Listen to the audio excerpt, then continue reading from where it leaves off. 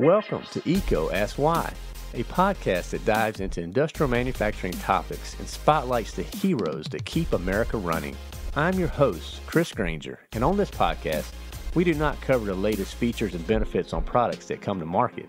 Instead, we focus on advice and insight from the top minds of industry because people and ideas will be how America remains number one in manufacturing in the world.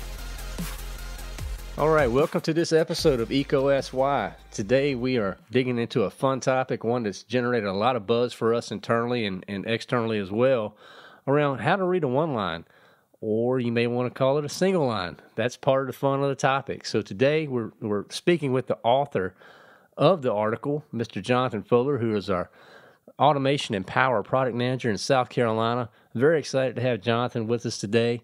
Jonathan, thank you so much for taking the time. So let's just start off with the burning question, the one that's got everybody fired up. Is it a one line or a single line? Hey, thanks, Chris. Happy to be here. Uh, so it can be both, really. Um, I would go by one line, but I have heard people call it a single line before. Uh, most everybody I know in the engineering community, uh, they're going to refer to it as a one line. But either way, one line, single line, it, they're both correct as long as uh, the people that you're talking with understand that you are actually talking about either a one line or a single line. I got you. I got you. I know there's some of our listeners that they may want to take this uh, discussion to the parking lot if it gets too serious. But in, in all in all seriousness, let's let's start at the very beginning. There are some people who may not even know what we're referring to when we say one line or single line. So, can you give a, a basic general overview of what we're speaking of here? Yeah, sure. So uh, a one line is going to be a graphical representation, so something on paper uh, or you know on your computer screen, but it's going to be a graphical representation of the physical power layout that you have in your facility, or you know it could even be your home, for example. But it's going to have um, a, a line on there that's going to represent the power, and it's going to have other symbols and uh, things on there that are going to represent things like your circuit breakers or fuses or relays and protective devices. But it, it's basically a graphical layout that kind of represents the physical layout that could be there in front of you. Very good. Good description. So let's let's pretend that this is the first time someone hands me a one line and it's in my hands. Where do I start? Uh, so you know, if you're in front of a, a certain piece of equipment uh, that you need to work on, and that's why they handed you this one line, you know, I would start uh, and identify from the nameplate on that piece of equipment, you know, the name of it and, and what you're looking at, and then you can find that on your your one line diagram that you have in front of you. Um, but you know, typically you also could start in the top of the one line and work your way down. Uh, so the top of that one line is going to generally have your incoming power, whether it be from utility source or a generator or things like that. And it's going to work down the one line of the power architecture in your plant. So you're going to have like your main piece of switchgear, switchboard, and you're going to branch out from there and go to the different areas uh, within your facility that have the the gear in it. Um, but you know everything's going to be labeled on that one line with or it should be labeled on that one line with the names of the the piece of equipment. So you can also do it that way like if you know you're standing in front of msb-1 uh, you can look on that one line and, and find it there uh, and then you'll be able to kind of trace upstream and, and find what's protecting uh, or providing power to that piece of gear um, so that way you can safely open that breaker and, and do the lockout tagout procedure Okay, I got you. So when you when you're handed that one line though for the first time, is there a legend or something on it to give you an idea of what the different symbols and things like that mean? Because I, I know sometimes you you get them, they're so complex, they're so convoluted. Uh, it almost looks like you're walking into the pyramids, right? And you've got you know the the the symbols all over the wall. Is there something to to kind of give us a okay? This means this when I'm looking at it. Yeah, absolutely. So any good one line should have a legend on it, similar to a map legend that you might see uh, on a map of the United States or your you know home state, anything like that. Um, but it should be a box in one of the corners, and it's going to have um, it's going to it should say you know one line legend, and it's going to have symbols on there, uh, the different squiggly lines or hieroglyphics, if you will. And it'll it'll have that graphical representation, but then it'll also have the word next to it as you know this is a breaker, this is a meter, this is a relay, uh, so that you can quickly identify all of those lines and symbols on your one line. Very good. what about some the symbols when you think about and you're looking at and you're reading the legends? What are some commonly misinterpreted symbols that uh, users typically you know, could could make the mistake with when they're when they're trying to interpret interpret the one line? Yeah, so uh, some of the common mistakes that I I've made and I've seen are uh, some of the different kinds of breakers, uh, you know, versus uh, bolt on or or uh, draw out breakers. Those are going to be different, as well as uh, you know a lot of them relays and motors and things like that tend to be a circle with a letter in it. So if you don't pay close attention to what that letter is, you might mistake a motor for a relay and, and vice versa. Okay. So is there a bank of standards for this or is it you know dependent on the, the particular one line that you're evaluating at that time? Well, so there's a couple of different standards. There's no one universal standard. I mean, IEEE has a standard as well as NEMA and IEC.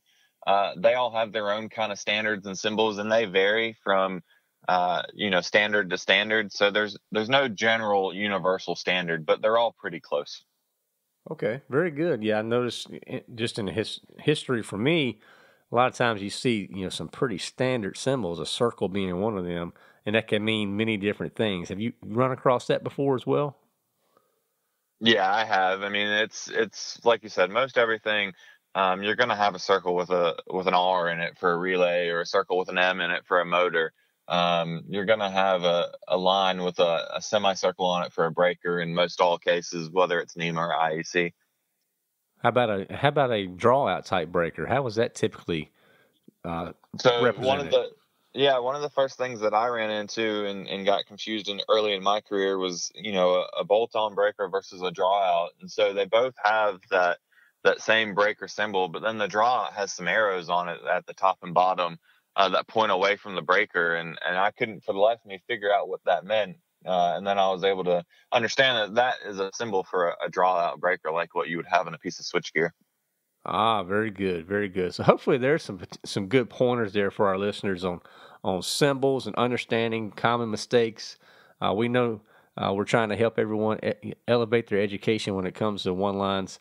So let's let's assume that we have a one line now in front of us. How do I know, Jonathan, that the information that I'm looking at is accurate? Well, uh, there's no real way to know that. I mean, chances are, you know, 99% of the time, uh, you're going to get that one line when you get that new piece of equipment, um, or you, you know, building your plant from scratch.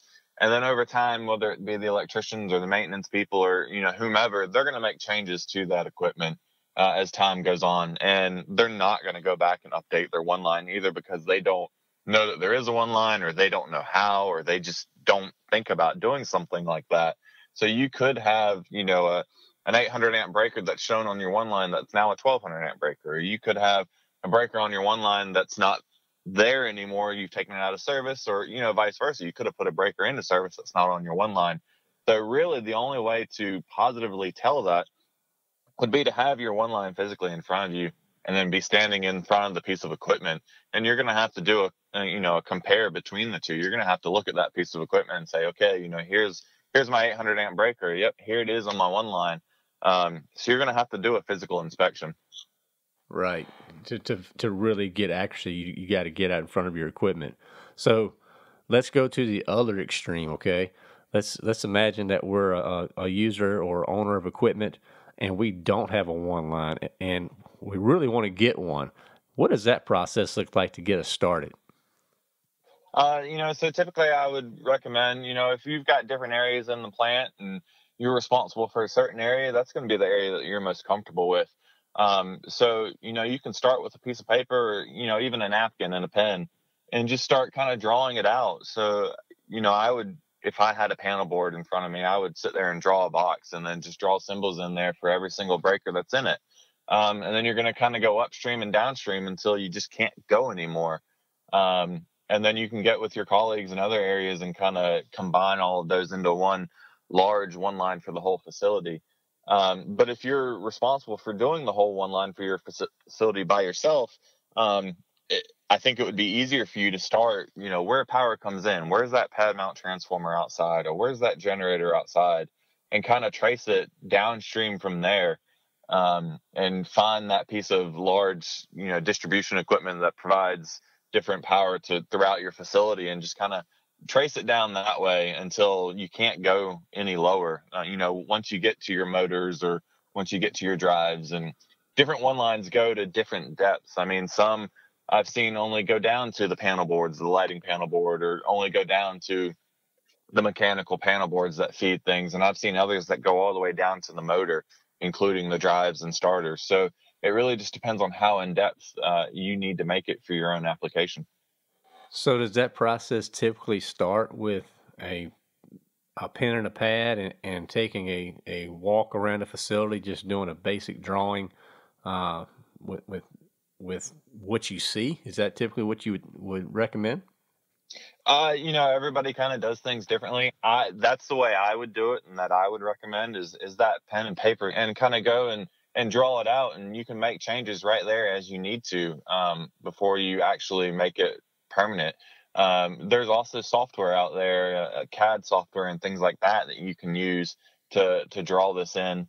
Um, but if it were me, I would definitely do, you know, handwrite a copy of it and then bring that to my computer and sit down with all the information at once and draw out uh, my one line in my software and then save it. And then that way in the future, when you make changes to that one line, you can open up that software and, and make changes there and then print a new copy of it. Good point. Are there any you know software platforms that, that you've worked with in the past that you enjoy or you, you find have good maybe pre pre-done drawings and things like that that you would refer to our listeners? Um, so the one that I use almost all the time was just AutoCAD with some uh, built-in symbols in it. That that's how I did most all of my one lines. Um, I know there's some tools out there that people use for arc flash studies and things like that, like SKM and and tools like that. Um, but I'm most comfortable and most familiar just with AutoCAD. Very good, very good. We're just trying to help. So EECO asks why. We really want to dig into the why behind things to to give a deeper meaning and purpose. So let's just get right to it. Why should an end user care if they have a one line or not? Well, I mean that's the the easiest and safest way to ensure.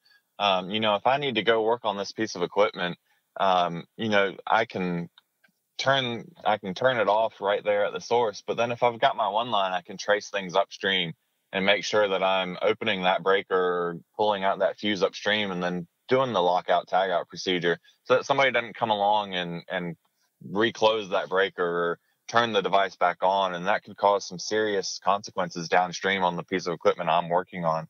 But then also, I can also see what's downstream and what I might affect downstream in the plant.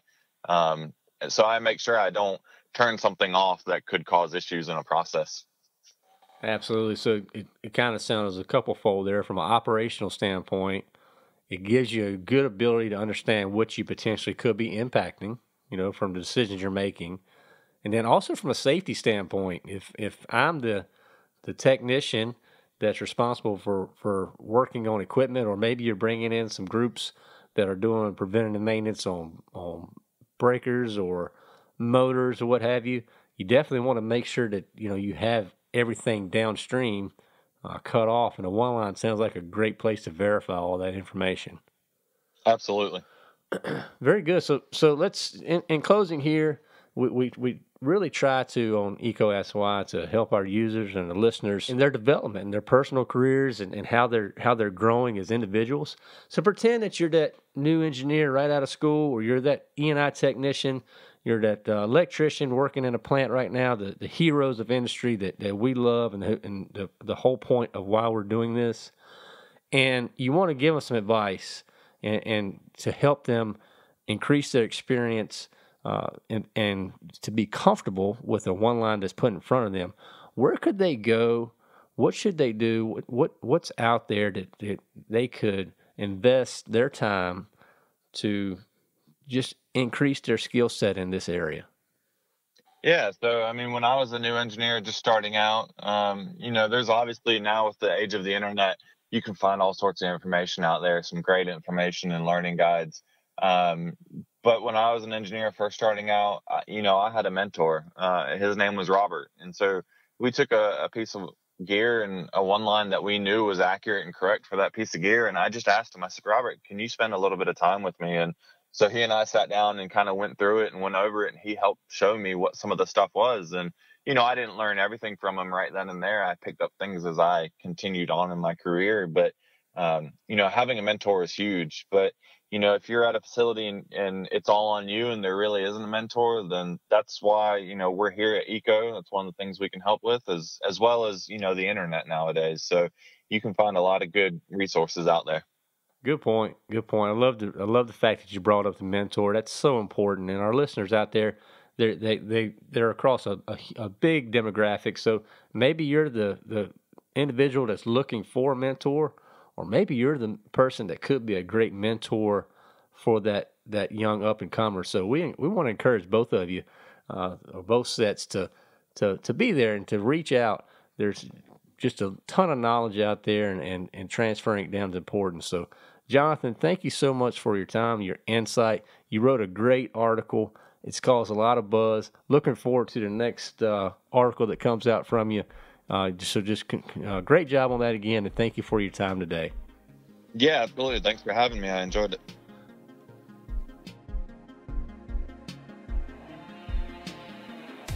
Thank you for listening to EECO Ask Why.